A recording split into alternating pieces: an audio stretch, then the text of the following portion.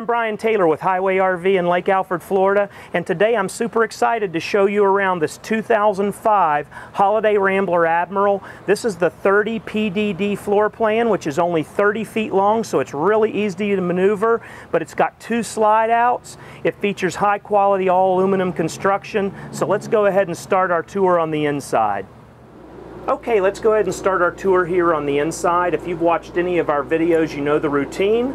What I'm going to do is take you through the inside and show you the floor plan, point out some of the features, and as always, uh, point out uh, the condition the coach is in so that you're able to do the shopping for these motorhomes in the comfort of your home and have a really good idea of the condition, the overall condition of these motorhomes before you come out to the lot. We are brutally honest with these. If there's a flaw on them, we point it out and we do our best to give you a very accurate uh, view of, uh, of these coaches. So what we're looking at right here is a 2005 uh, Holiday Rambler uh, Admiral. It's the 30 PDD floor plan. That's a 30 foot coach with two slide outs. This is an excellent way to get into what I think is the hottest segment of the Class A market uh, in uh, nowadays. The short 30, 32 foot length is just super popular. They bring all the money at, that, at auctions and at retail lots all around the country. But this coach uh, is a, an affordable way to get into it. Uh, it's in the priced in the low 30s, and uh, this one has uh, about 51,000 miles on it. So uh, let's go ahead and start our tour up here in the front of the coach. Um, up here we've got an equipment cabinet. These are our manuals for the coach. Over here we have a combination DVD uh, VCR right here, a Samsung Blu-ray player, and our video networking box which sends your cable uh, satellite and antenna signals to the different televisions around the coach. And as you can see, this has been upgraded to a Vizio flat screen television. Really nice size right here. Uh, pretty nice job on the install. There are a couple of screws uh, showing up here, which we are going to cover. We're going to cover this with a black board. Uh, but other than that, the install was done beautifully. Uh, really nice, in here nice and solid. Looks like it's meant to be here. Uh, up here on the dash, uh, we've got a nice padded dash. Uh, all the vinyl is in great shape. Uh, again, no written rips, tears, or stains. I use that line a lot, but there's none of, none of those on there. Here's our in-dash Garmin GPS. This is the Street Pilot. it's a large screen GPS, so that is really nice. It's got a professional install done on it with a nice bezel around it. Looks great. Uh, over here's our, our Pioneer radio and um, our, our uh, heat and air conditioner controls down here. This is a Chevrolet Workhorse chassis, uh, which is a little bit of an upgrade over the Ford chassis, uh, especially in book value. Uh, over here we have our Power Gear uh, levelers right here. They are automatic levelers. And uh, both the front and passenger seat have no rips or tears, and there's really not any wear in the uh, fabric, so to speak. There is, I think, a little bit of fading going on. It's kind of a, a brownish color that uh, looks to me like just over time it's gotten some fading going on. It's, it's turned maybe a little bit more greenish than it should be, but it's nice and clean. It's not ripped up or anything but there is some discoloration to them. So we do like to point that out.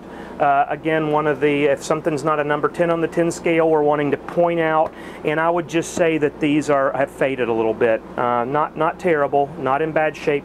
Ask for the detailed picture package if you're very far away from the lot. We'd be glad to send you out about 100 to 150 detailed pictures of the coach, and we will have uh, several pictures of these chairs so you can get a good idea.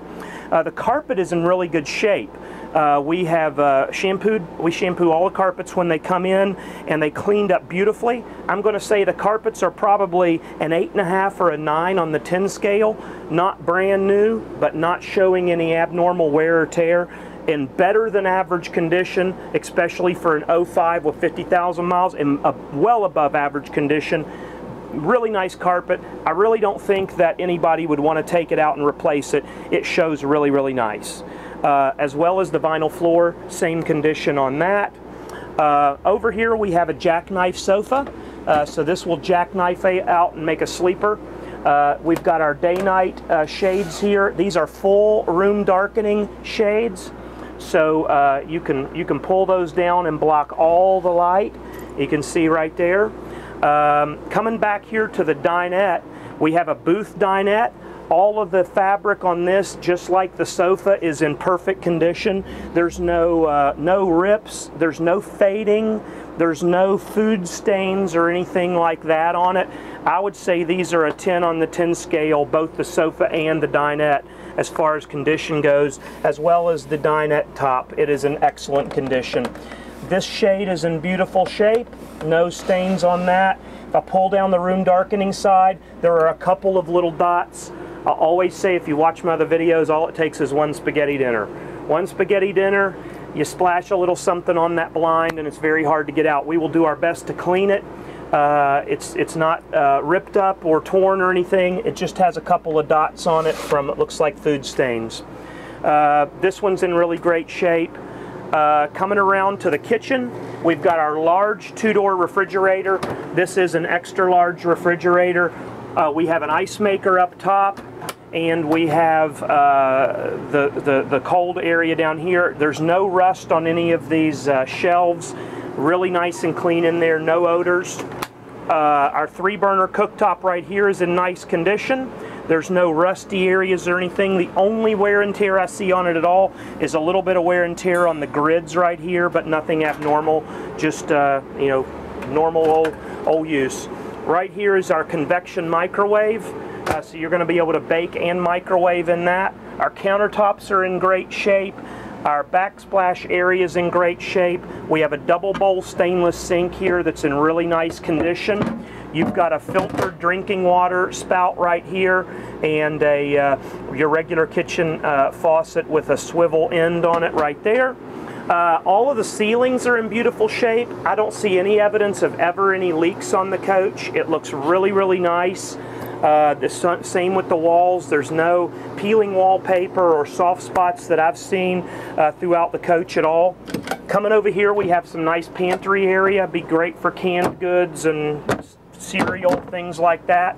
Over here is what I call the brains of the coach. We've got the uh, your tank monitors right here. You've got your electric and your gas hot water heater right here. You got your house battery and starting battery gauges so you can see the voltage on those. You also have your uh, slide out controls right here. So uh, that's kind of the brains of the coach. Right here is your, um, this is your thermostat for the roof air conditioner. This is a 30, uh, 30 foot coach, so there's really not any need for two air conditioners on this. It's got one air conditioning and it does just fine. We're here in Florida and basically still summertime here and it's doing a really good job. Um, tell you what, I'm going to go ahead and have the cameraman go on back first and swing around. And in here we have our bathroom with our uh, glass enclosed shower. We've got a nice skylight above that. Uh, there's no evidence that it's ever leaked around that. One thing that comes with this coach that I really like a lot is they have these plugs in every one of the vents. So when you're storing the coach, or if it's a vent that you're not using, you put that in there. It has reflective material on one side, and it'll insulate those uh, those roof vents. Uh, those come along with the coach, and they're in really nice condition. Uh, we've got some cabinetry space in here, a nice big mirror, our vanity down here. One thing I'm going to point out at some time this has had a border in here that's been removed. I can see a pencil mark that runs around the, uh, the, the, uh, the wallpaper in here. There's no damage to the wall or anything. I'd be glad to put some wallpaper border back in if it's something you would like it. I just now noticed it uh, as I was looking at it, but it'd be very easy for us to take care of it. But I do want to point out we've got a pencil mark right there. Uh, in this area right here, we have a cabinet cabinet right here that's very deep. Um, trying to see, I believe uh, this looks like we've got an area for pre-plumbed and pre-wired for a washer dryer. It's got a false panel in the back so I can't see the hookups. If it's something that's important to you, I would be glad to take that panel off and make sure that it is pre-plumbed and pre-wired, but I'm about 90% sure we've got pre-plumbed and pre-wired uh, area back there. Right here we've got hanging storage. a bank of two drawers below that, a bank uh, or a cabinet right here. Up here we've got our breakers and our fuses. You've got an area right here with a little bit more hanging storage. You do have a bar in here for hanging. And this is a vanity area. You've got a nice little swing out mirror right here. And this looks like it's just a mirror, but this actually uh, lets light in uh, through that window and you do have a shade behind that so you don't have to use that uh, you could have that shade pulled and leave those open if you would prefer but that's a pretty nice feature. You can put one of the dinette chairs or you can uh, actually we have a booth dinette but you could get a little folding chair something and put right here it's a great place for uh, uh, for the ladies or the men to put their makeup on so over here we've got a queen size bed. This is the factory bedspread which is in beautiful condition. I don't see any, uh, any, any wear or tear on it. These really nice wall sconces with this decorative glass with a mirror background and we got a padded uh, cushion headboard and a couple of little reading lights right here um, that you flip on with a switch on the sidewall right there. So uh, inside of this uh, coach is just clean as a pin. The carpet's really nice back here. Again, no leaks in the ceiling. This is a vinyl ceiling, which I like. It's uh, easier to keep clean than the fabric style ceilings. Uh, but again, this is a great way to get into a really reliable easy to maintain 30 foot coach that you can get into state and national parks very easy to maneuver. With that workhorse chassis you're going to have plenty of power for powering up the hills and it's just in beautiful condition. So let's go ahead and go on out to the outside and see uh, take a tour of that Okay, let's go ahead and continue our tour of this 2005 Holiday Rambler Admiral here on the outside. Again, to refresh your memory, 30 PDD, that's a 30 foot coach. Uh, we're going to start here on the side walls. Uh, mirrors are in great shape. All the graphics around the coach show very minimal wear and tear. There's no cracking or peeling. There's maybe a, slight little bit of uh, fading here and there, which is going to be normal for uh, graphics that are about 10 years old, and a little chip here and there. There's a little chip in the graphic here, but overall the graphics are in excellent shape. The aluminum, the side walls and the construction of this whole coach are aluminum. Bay doors are aluminum, the side walls are aluminum, the roof is aluminum, the studs are aluminum. That's a really great uh, build quality on that. Uh, all of the uh, paint down the sides in this bronze brown color is in really nice shape. I'll point out any flaws as we go around but uh, the sidewalls are nice and shiny. Um, got a little bit of, um, on this entry door, we have a little bit of area where the paint is worn through right here. Um, I'm more than likely going to go ahead and have this door painted to match just because it's uh, it's just shown a little bit of wear and tear here. Uh, the factory finish on this is just not quite as durable as the factory finish that was on this, so we're probably going to go ahead and paint that. You can ask me about it when you call, and uh, we will uh, let you know if it's gotten done yet. Uh, we're just uh, just going to have to get it taken care of. We've got a storage bay in here. It is full pass through. About the top 12 inches of this storage storage bay goes all the way through. I close this bay door, there's uh, very, very minimal of any sort of chips or scratches. There's a little chip right here, a couple of very minor little surface scratches that aren't through the clear coat that would easily buff out. Uh, overall, though, in beautiful condition. Right here's our LP gas area. Our LP gas tank. tank's a really big LP gas tank and everything looks good in there. Uh, same with our door out here. A uh, couple of little minor surface scratches here, but really no chips or scratches.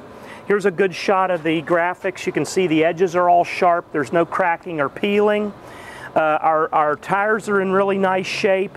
I can't remember the date code uh, age on these. It's a, it's a date code that I cannot read, but I remember the, this is a trade-in and I remember the customer telling me I think they are about two years old. So they, they definitely look to not be very old. You can still see the barcode here. I'm certain that they're not run out and uh, be easy enough to go to a, a, tire shop. I'm sure they could probably decode that date code, but uh, those are a little bit different than your average date code. Here's one of the only problems on the outside of the coach, one of only about two problems that I know of. This has uh, gotten scraped at some time and it has bent the metal a little bit right here. Uh, it's barely noticeable when it's closed because it's down on the bottom edge. All the paint up in here is in really nice shape. You see a couple of minor little scratches here. And if you look at it, you can tell that there's a little bit of wrinkling in it. But you really don't notice it until you open the door. So that's not a, a real big deal. Again, we like to point out the good as well as the bad. Uh, I want to point a flaw like that out because you will see it when you get here. I don't think it's a big deal, um, but I do want to point it out. Back here's a storage bay, really nice and clean in there. Nice big storage bin. That door is in great shape. Uh, coming around to the back, we got our aluminum ladder going to the roof, which is in excellent shape. All of the paint back here is, is above excellent in shape. There's just no, no wear or tear back here hardly at all. Got a spare tire. The graphics are nice back here. Coming along to the side of the coach, you can see our electrical bay right here. Everything's neat as a pin in there. It's a 30 amp coach. This bay door has a couple of little chips and surface scratches in it, but really minor. Again, we can send out that detailed picture package that we do on these coaches, and we'd be glad to send you out 100, 150 pictures of this coach that will show you in detail any flaws that we see. Uh, this is our wet bay. It's in really, really clean condition in there. This door's in really great shape. All of these graphics are nice. Again, the sidewalls show a nice shine to them with that aluminum skin. Uh, we do have some corrosion on this uh, fuel filler door right here. Uh, we will be fixing this. I need to pull this off, sand it down or, or sandblast it down, prep it properly. With aluminum, you need to prep it with uh, the correct type of chemicals to neutralize the corrosion and be able to uh, not have it just peel right back again. We just haven't had time to do that or the door, but that will be built, will be getting taken care of uh, with the sale. So uh, uh, we will we will make that a non-issue. There's more storage bays underneath this slide out. You can see you got your your big slide out right here. And again, the sidewalls are nice and shiny. Uh, tires all look great. Wheels all look great.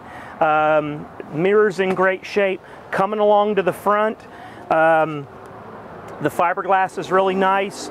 You've got a little you've got a little bit more chipping in the brown paint up here, normal wear and tear type stuff. This does not have the clear protection film on it, nor did it ever have it. So you've just got the paint that's been exposed to uh, any normal amount of rock chips. Unless someone's a really good driver and knows how to dodge uh, rock chips, uh, there's no way around this. This is just normal stuff. You're gonna pick that up over 50,000 miles of driving. It's a little spot in the clear coat right there. But other than that, the front end shows really nice. Um, it's just normal stuff. It's definitely not an eyesore. But again, we point out the good with the bad. We are brutally honest when we do these, uh, these uh, videos. We're doing them so that you know not only the good part, parts, but any flaws. So uh, that's basically the outside of the coach. I hope this video has been helpful for you. If you have any questions, uh, please feel free to call us at Highway RV. Our number is 863-956-1036. My name's Brian, but uh, whoever answers the phone will be glad to help you. It might be Cy. He's a salesman here, and he'd be glad to help you out as well. And um, again, I appreciate you taking the time to watch the video, and I hope it's been helpful to you.